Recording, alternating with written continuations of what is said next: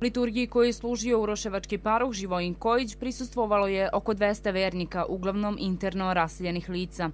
Neki od njih u Uroševac dolaze svake godine na praznik, a neki su ovaj grad i crkvu posetili prvi put nakon 16 godina. Kažu da bi se vratili u svoj rodni grad ukoliko bi se stvorili uslovi za normalan život i rad. Pa znate šta, ako se vrati većina, možda bi se vratio, ako samo jedan čovjek, ništa ne znači. Pa ako bi se ovaj, poboljšali uslovi, ako bi se vraćao narod, vratila bi se i ja. Pa ko se ne bi vratio? Ali uslovi nema ništa, ne da se lažemo da nema ništa od toga.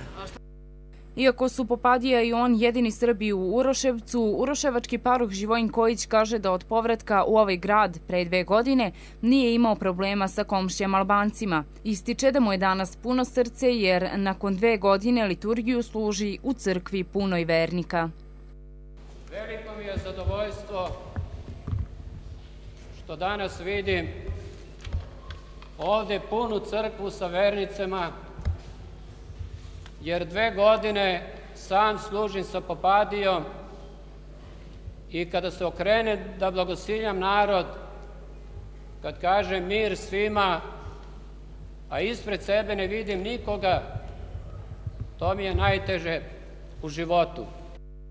Liturgiji je prisustvovao i ministar za zajednici i povratak Dalibor Jeftić, koji je rekao da je žalosno da Srbi i Uroševac dolaze samo za praznik, Jeftić je pozvao Srbi iz Uroševca da ne prodaju svoje imanja.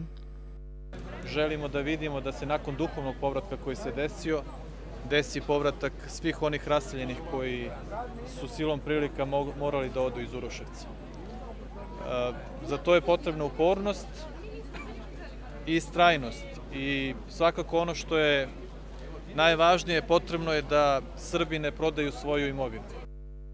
Nakon liturgije vernici su otišli i do groblja gde su na grobove svojih najmilijih položili cveće i zapalili sveće.